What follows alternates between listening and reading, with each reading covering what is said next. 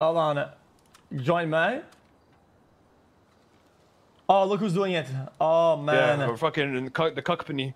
That's what I call them. Oh, no, not not them. I don't give a fuck about them. Uh, Uh, oh, your girl, Request- dude. Oh my god. request to join, request to join, request to join. I can't see your bit, your shit, bro. There it is. Nah, that's Your girlfriend, dude. Your We- Me and me and her are not dating, by the way. So Yeah, right. Really? Well, how long Yeah. you guys haven't been dating for? uh, like three weeks now, something like that. So why did last week you guys were hanging out and you were cuffed Uh, up and I she mean- had I called mean- I up mean, to that save doesn't you? What's going count. on with that? I was definitely you mean on that that doesn't really count?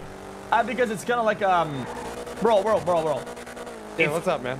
bro. It's it, it- bro. It's it's random because I know she does roof running and roof running is pretty good. Uh huh. Uh. What? Uh, I don't like I don't, I don't think it's a big, that big of a deal, you know. It's just like a thing here Yeah, and there. yeah. Hanging out with your ex, doing jobs together? Yeah, yeah, definitely, man. Just being helpful. Yeah, no, for sure. Uh, how much is that, Jet?